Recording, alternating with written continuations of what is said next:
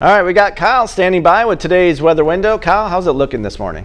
Today's weather window is from Piper in Westby, who is enjoying a nice day outside with the flowers. And we have another nice day outside on tap today. We got sunshine, we got a little bit more fall-like high temperatures into the upper 60s, low 70s. And we're always looking for more of these weather windows. Send those drawings to the address you see on your screen. I'll have a look at your forecast next.